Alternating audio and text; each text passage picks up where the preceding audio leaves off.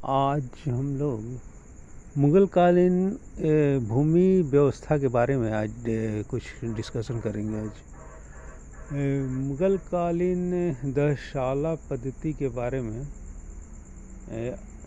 कुछ हम लोग जान लेते हैं इसके बारे में। आईने दहशाला क्या था? भूमि कर प्रणाली। मुग़ल काल में भूमि व्यवस्था काफ़ी अच्छा माना जाता है काफ़ी अच्छा था। इसके बारे में काफ़ी क्वेश्चन वगैरह भी आता है सिविल सर्विस में और और भी कई एग्ज़ाम में आते रहते हैं। इसलिए हम लोग जानना बहुत ज़रूरी है।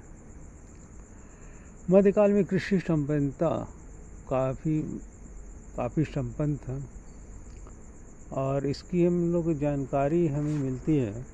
विदेशी यात्री, तत्कालीन विदेशी यात्री मुग़ल कालीन रिकॉर्ड फारसी साहित्यों से मिलता है। Bernier Hawkins Thomas Roe Monserrate ये सब विदेशी यात्रियों के रिकॉर्डों इन्होंने वर्णन किया है। इसके बारे में हम लोग जानकारी मिलती है। मुग़ल कालीन भू राज्य व्यवस्था के बारे में अबुल फजल ने भी लिखा है, और तुजुक के जहांगीरी, बादशाह नामा, और इसके अतिरिक्त कई फारसी साहित्यों से हमें जानकारी मिलती है। और बाबर के बाद, बाबर, हिमायू के बाद भूमि व्यवस्था में शेर शाह सूरी इसमें कुछ सुधार लाया था उस समय? और इसके इसके बाद आईने अकबरी, हिमायू नामा वर्नियर का भी विवरण, इसके काफ़ी जानकारी देता है। मुग़ल कालीन शासन व्यवस्था के अंतर्गत भूमि कर प्रणाली का प्रमुख स्रोत भूमि कर प्रणाली आमदनी का काफ़ी स्रोत महत्वपूर्ण स्रोत था सबसे महत्वपूर्ण। अब्बुल फजल लिखता है कि प्रशासन का मेरुदंड था आर्थिक व्यवस्था और कृषि व्यवस्था। कृषि व्यवस्था से ही इसके एक मेरुदंड रीढ़ रीढ़ की हड्डी होता है मैंने प्रशासन प्रशासन व्यवस्था सारे सुचारू रूप से चलाने के लिए कृषि की संबद्धता जो थी इसी से ए, हम काफ़ी विकसित हुआ मुग़ल साम्राज्य। इसके बारे में आगे और देखते हैं। कि महान मुग़ल में अकबर जो था अकबर के समय काफ़ी विकसित हुआ। और भूमि व्यवस्था के क्षेत्र में अकबर ने काफ़ी इसमें प्रयोग किए। इसमें एक था सबसे बड़ा भूमिकर प्रणाली में। ये पंद्रह वर्षों तक, सबसे पहले पंद्रह वर्षों तक का एक जब्ती प्रणाली चालू किया। अच्छा अकबर से पहले एक शेरशाह भी भूमि कर प्रणाली के बारे में उसके बारे में लोग जानकारी मिलती है। और अब्बास शरवानी अब्बास शरवानी की पुस्तक है। उसमें शेर शाह सूरी के बारे में जानकारी मिलती है और उसने भूमि कर व्यवस्था में कोई सुधार किए थे। उसकी हमें जानकारी तत्कालीन स्रोतों से जानकारी मिलती है। भूमि अच्छा अब्बुल फजल के अनुसार प्राचीन भारत के अंतर्गत भूमि कर प्रणाली अकबर के समक्ष अकबर ने इस पर काफ़ी अच्छा काम किया था। ऐसे देख लेते कृषि को पंद्रह सौ बासठ में अकबर ने इमायत खान को सुधार लाने के लिए नियुक्त किया था इमायत खान को काफ़ी महत्वपूर्ण है। और कृषकों में नगद कर प्रणाली की व्यवस्था की गई, नगद प्रणाली। अकबर के समय करोड़ी व्यवस्था को लागू की गई करोड़ी व्यवस्था, इसके अंतर्गत खालसा कृषि को ऐसे बराबर भूखंड में बांटा जाता था, जिसकी आय का एक करोड़ चालीस दाम था उसका। अकबर इसे संतुष्ट, पहले फिर अकबर इसे संतुष्ट नहीं हुआ। और उसके बाद मुजफ्फर खां और अधिकारियों को भूमि के व्यवस्था, कर व्यवस्था में लगाया काम पे, लेकिन इस व्यवस्था सफल नहीं हुआ। अकबर के द्वारा टोडरमल टोडरमल एक बहुत महत्वपूर्ण व्यक्ति था और ब्रिटिश सुधार में महत्वपूर्ण काम किया है, बहुत ही महत्वपूर्ण कहा जाता है। भूमि सुधार के लिए उनको उत्तरदायित्व दिया गया।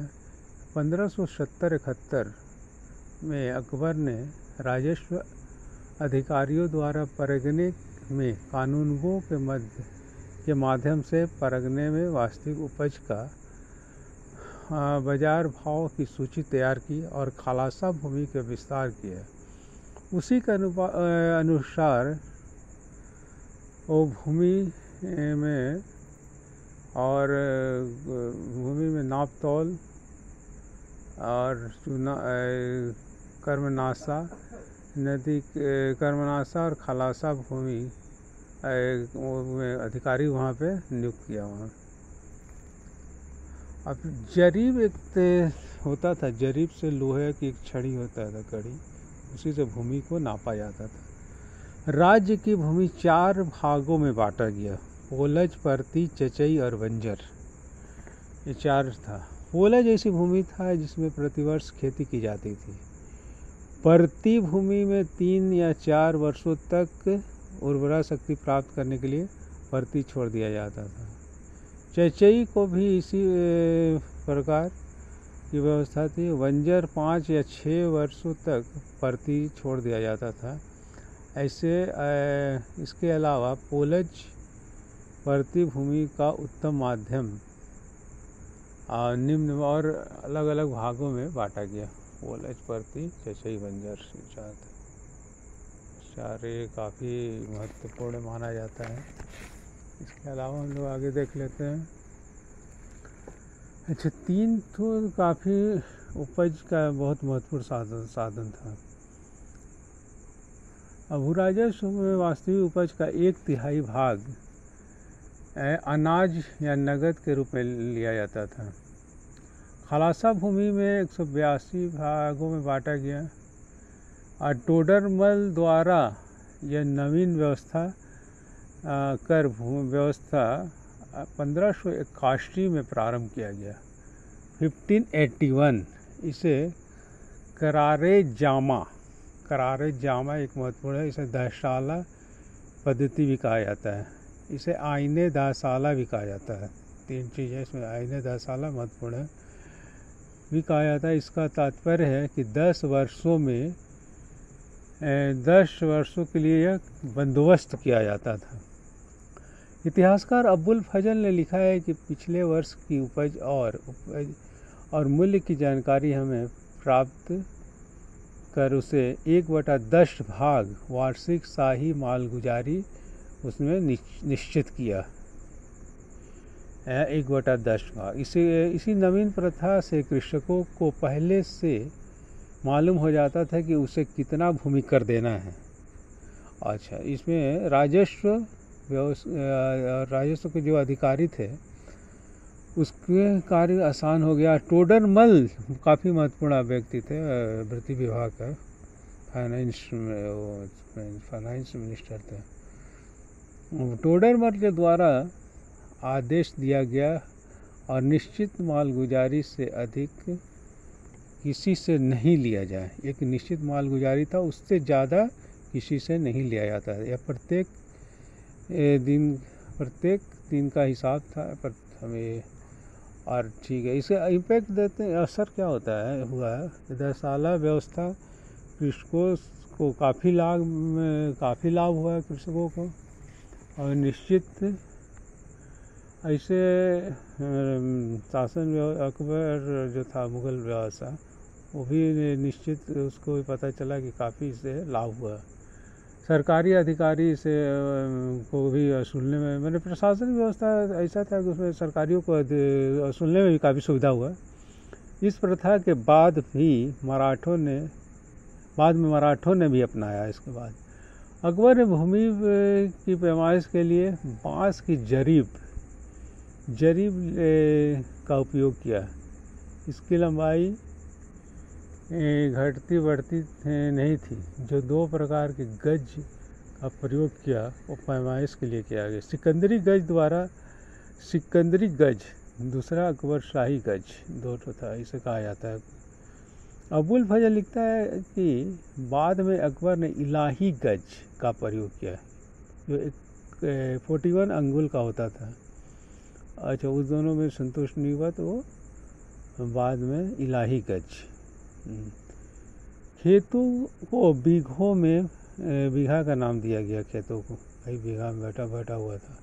और उसके पैमाइश की गई, कृषि योग्य भूमि का चारगाहों जंगलों, झीलों को सब अलग अलग किया गया। कृषि भूमि अलग और आपका जंगल, झील सब अलग अलग इसका सब हिसाब, किताब अलग था। भूमि की उर्वरा के आधार पर वर्गीकार किया गया और अबुल फजल के अनुसार औसत उपज का एक तिहाई भाग भूमि कर नगद के रूप में अकबर के समक्ष असूला गया।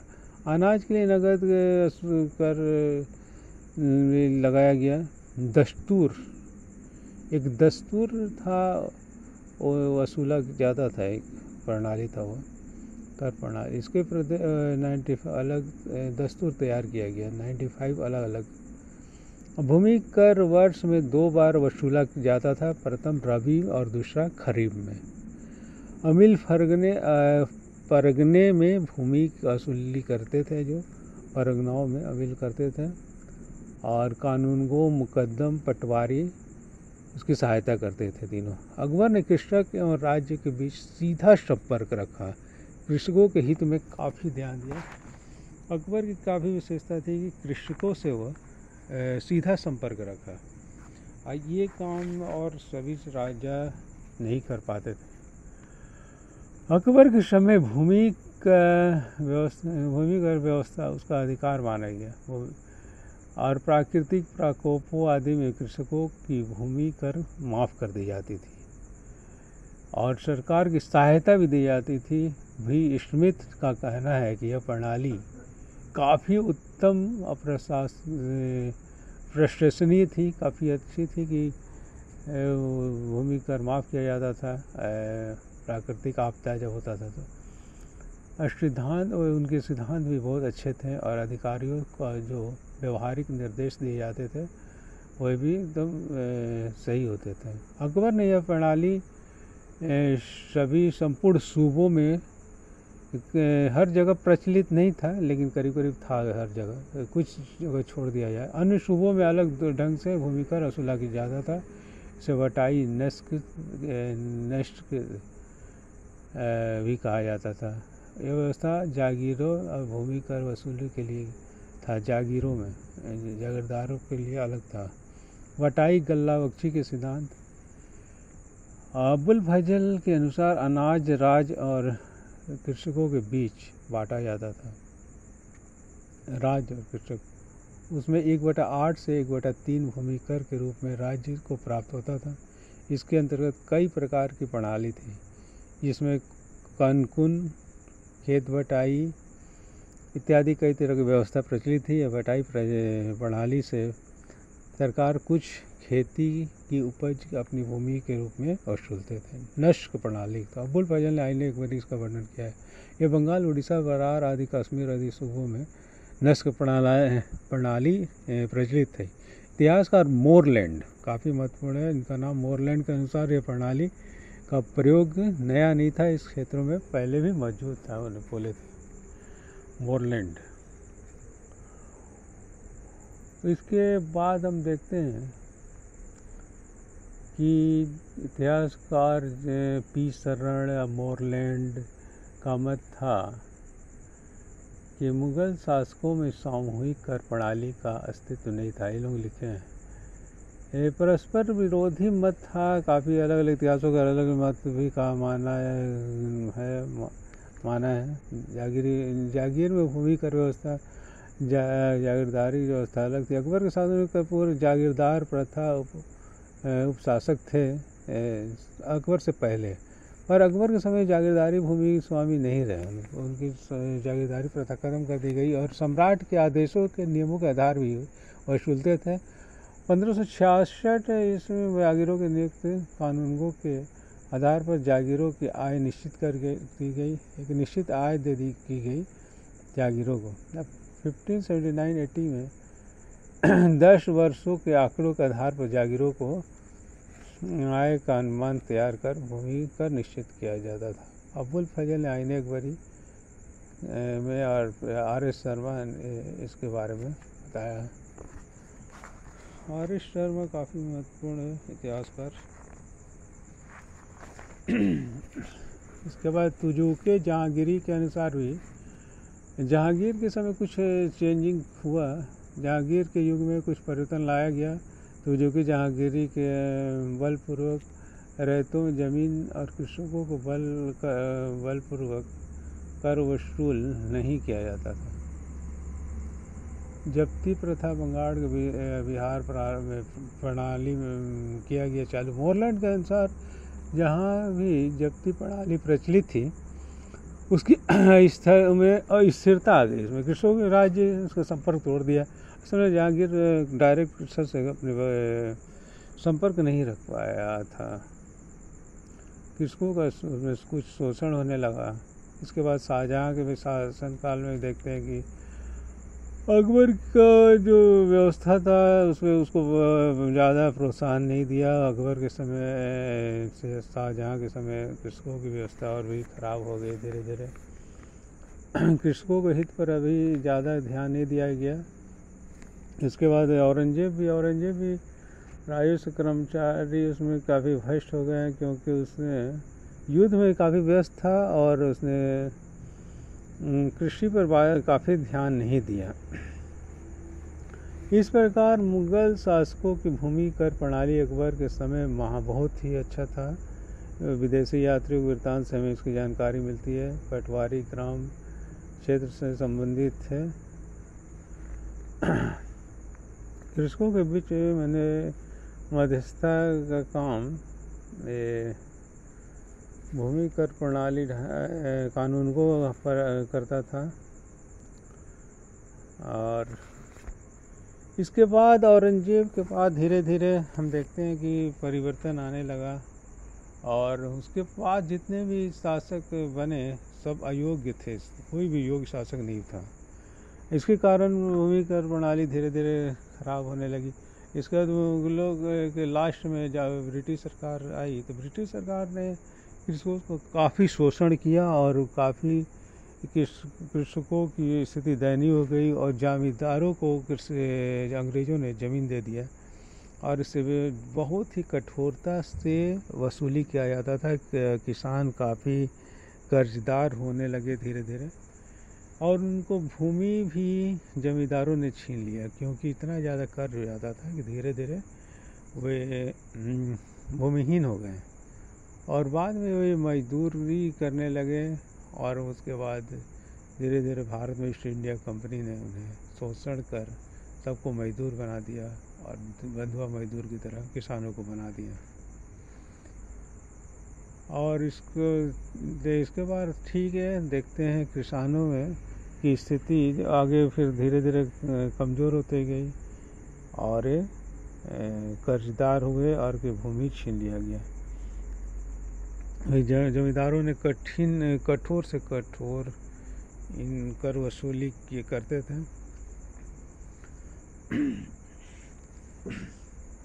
ठीक है, okay, thank you thank you very much एक था भूमिकर प्रणाली।